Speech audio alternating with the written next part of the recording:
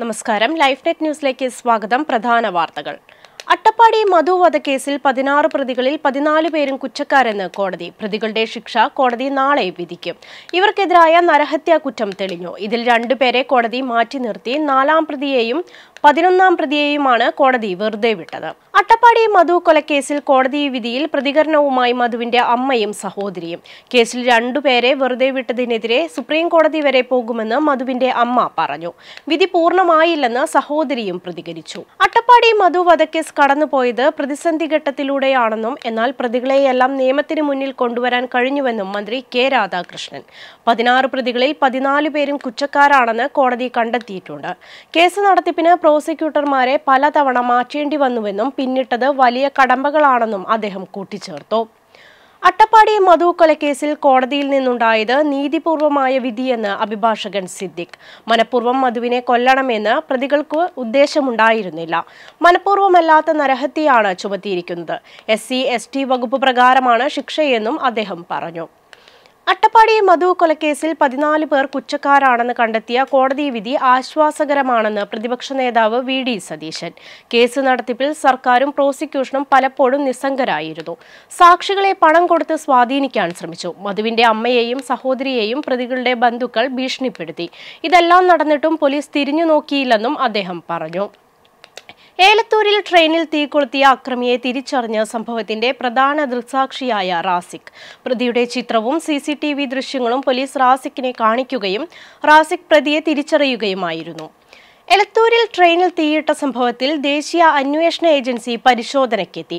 അക്രമ സംഭവം അരങ്ങേറിയ ആലപ്പുഴ കണ്ണൂർ എക്സിക്യൂട്ടീവ് എക്സ്പ്രസിലെ രണ്ട് കോച്ചുകളാണ് എൻ സംഘം പരിശോധിച്ചത്. സംസ്ഥാനത്തെ ഒരു വിഭാഗം പ്രീ പ്രൈമറി അധ്യാപകർ അനിശ്ചിതകാല സമരം തുടങ്ങി. മുന്നൂറ്റി അമ്പത് രൂപ ദിവസക്കൂലിയാണ് കിട്ടുന്നതെന്നും കൃത്യമായ ശമ്പള സ്കെയിലും പെൻഷനും അംഗീകരിക്കുന്നതുവരെ സെക്രട്ടേറിയറ്റിന് മുന്നിൽ സമരം നടത്തുമെന്നും അധ്യാപകർ പറഞ്ഞു. ജാതി സെൻസസ് അനിവാര്യമാണെന്ന ആവശ്യവുമായി പ്രതിപക്ഷ പാർട്ടികൾ.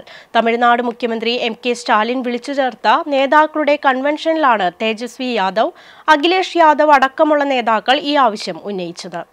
ചെന്നൈ കലാക്ഷേത്ര ആർട്സ് കോളേജിലെ ലൈംഗിക പീഡന പരാതിയിൽ നാല് മലയാളി അധ്യാപകർക്ക് സസ്പെൻഷൻ. ഹരിപത്മൻ ശ്രീനാഥ് സഞ്ജിത് ലാൽ സായ് കൃഷ്ണൻ എന്നീ അധ്യാപകരെയാണ് സസ്പെൻഡ് ചെയ്തത്. ഇന്നലെ അറസ്റ്റിലായ ഹരിപത്മനെ ജുഡീഷ്യൽ കസ്റ്റഡിയിൽ വിട്ടു. മറ്റു മൂന്ന് പേർക്കെതിരെ ആരോപണമുണ്ടെങ്കിലും പോലീസിൽ പരാതി ലഭിച്ചിട്ടില്ല. K P C C executive യോഗത്തിൽ ശശി തരൂർ എം പി അടക്കമുള്ള നേതാക്കൾക്ക് വിമർശനം. നയപരമായ കാര്യങ്ങളിൽ തരൂർ പാർട്ടിയുടെ ലക്ഷ്മണരേഖ ലംഘിക്കുന്നുവെന്ന് പി ജെ കുര്യൻ കുറ്റപ്പെടുത്തി.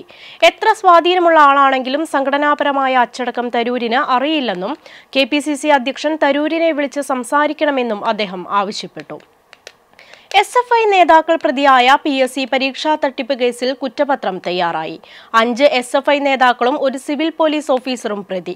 മൂന്ന് പി എസ് സി ഇൻവിജിലേറ്റർമാരെ പ്രതിപട്ടികയിൽ നിന്ന് ഒഴിവാക്കി. തട്ടിപ്പ് നടന്ന് നാലര വർഷം കഴിയുമ്പോഴാണ് ഈ മാസം അവസാനത്തോടെ കുറ്റപത്രം നൽകാൻ ക്രൈംബ്രാഞ്ച് ഒരുങ്ങുന്നത്. തനിക്കെതിരെ ചിലർ നട്ടാൽ കുരുക്കാത്ത നുണകൾ പ്രചരിപ്പിക്കുന്നതായി കെ മുരളീധരൻ എം പി. കേരളത്തിൽ ബി ജെ പി അക്കൗണ്ട് തുറക്കണമെന്ന് ആഗ്രഹിക്കുന്നവരാണ് പ്രചാരവേലകൾക്ക് ചുക്കാൻ പിടിക്കുന്നതെന്ന് അദ്ദേഹം ആരോപിച്ചു. എത്ര അപമാനിക്കാൻ ശ്രമിച്ചാലും കോൺഗ്രസിന്റെ സാധാരണ പ്രവർത്തകനായി തുടരും. കെ കരുണാകരന്റെ മകനെ സംഖ്യയാക്കാൻ ആരും മെനക്കെടേണ്ടെന്നും അദ്ദേഹം കൂട്ടിച്ചേർത്തു. സവർക്കറിനെതിരായ പ്രസ്താവനയിൽ രാഹുൽ ഗാന്ധിക്കെതിരെ ആക്രമണം തുടർന്ന് ആർ എസ് എസ്. സവർക്കറെ ചോദ്യം ചെയ്യുന്നത് സ്വർണക്കരണ്ടിയുമായി ജനിച്ചവരാണെന്ന് മഹാരാഷ്ട്ര ഉപമുഖ്യമന്ത്രി ദേവേന്ദ്ര ഫട്നാവിസ് പറഞ്ഞു. ഇന്ദിരാഗാന്ധി യശ്വന്ത് റാവു ചവാൻ തുടങ്ങിയ കോൺഗ്രസ് നേതാക്കൾ സവർക്കറുടെ സംഭാവനകളെ ബഹുമാനിച്ചിരുന്നതെങ്ങനെയെന്നും അദ്ദേഹം ചോദിച്ചു. മന്ത്രിമാരുടെ ബിരുദത്തെ ചോദ്യം ചെയ്യുന്നത് ശരിയല്ലെന്ന് എൻ സി പി നേതാവ് അജിത് പവാർ. നേതാക്കൾ അവരുടെ ഭരണകാലയളവിൽ കൈവരിച്ച നേട്ടങ്ങളെക്കുറിച്ചാണ് ജനങ്ങൾ ശ്രദ്ധ കേന്ദ്രീകരിക്കേണ്ടതെന്നും അദ്ദേഹം അഭിപ്രായപ്പെട്ടു. ഡൽഹിയിൽ കോവിഡ് കേസ് ഉയരുന്നു. തിങ്കളാഴ്ച ഇരുന്നൂറ്റി തൊണ്ണൂറ്റി മൂന്ന് പുതിയ കോവിഡ് കേസുകളാണ് റിപ്പോർട്ട് ചെയ്തത്. പോസിറ്റിവിറ്റി നിരക്ക് പതിനെട്ട് ദശാംശം അഞ്ച് മൂന്ന് ശതമാനമായി ഉയർന്നു. ഇതിനിടെ രണ്ട് കോവിഡ് മരണങ്ങളും റിപ്പോർട്ട് ചെയ്തു. ബംഗളൂരുവിൽ നിന്ന് വാരണാസിയിലേക്ക് പുറപ്പെട്ട ഇൻഡിഗോ വിമാനം ഹൈദരാബാദ് വിമാനത്താവളത്തിൽ അടിയന്തരമായി ഇറക്കി. സാങ്കേതിക തകരാറിനെ തുടർന്നാണ് വിമാനം തിരിച്ചിറക്കിയത്. മുഴുവൻ യാത്രക്കാരും സുരക്ഷിതരാണെന്ന് directorate general of civil aviation അറിയിച്ചു. തൃശൂർ അവണൂരിൽ ഗൃഹനാഥന്റെ മരണം കൊലപാതകമാണെന്ന് തെളിഞ്ഞു. ആയുർവേദ ഡോക്ടറായ മകൻ ഓൺലൈനിൽ രാസവസ്തുക്കൾ വരുത്തി വിഷം നിർമ്മിച്ചാണ് കൊല നടത്തിയതെന്ന് പോലീസ് അറിയിച്ചു. മകൻ മയൂരനാഥനെ മെഡിക്കൽ കോളേജ് പോലീസ് അറസ്റ്റ് ചെയ്തു. അച്ഛനോടുള്ള പകയാണ് കൊലയ്ക്ക് കാരണം.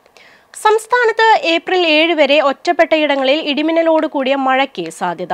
മുപ്പത് മുതൽ നാൽപ്പത് കിലോമീറ്റർ വരെ വേഗതയിൽ ശക്തമായ കാറ്റ് വീശാനും സാധ്യതയുള്ളതായി കേന്ദ്ര കാലാവസ്ഥാ വകുപ്പ് മുന്നറിയിപ്പ് നൽകി.